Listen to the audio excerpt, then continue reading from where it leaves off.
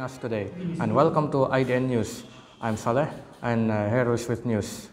Terrorism allied with uh, Al Qaeda's branch in Yemen have imposed a ban on the Livekat, uh, a mild narcotic widely chewed on a daily basis in a southern port city uh, over, overrun by uh, the militants last month.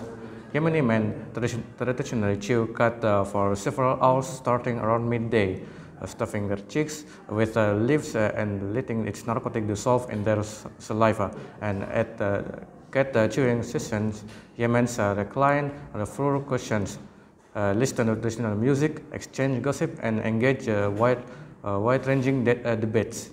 Uh, the widely cultiv cultivated uh, plant consumes 30% uh, of the extremely scarce water resource in Yemen, the Arab world's poorest country, and it cuts into the production of other crops.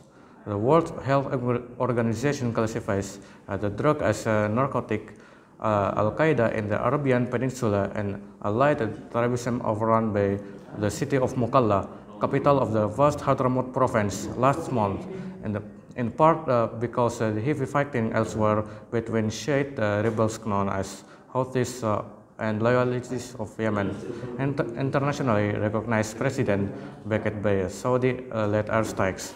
That is the headline morning news for this Monday. Uh, the, thanks for watching. I am Saleh. Have a great day.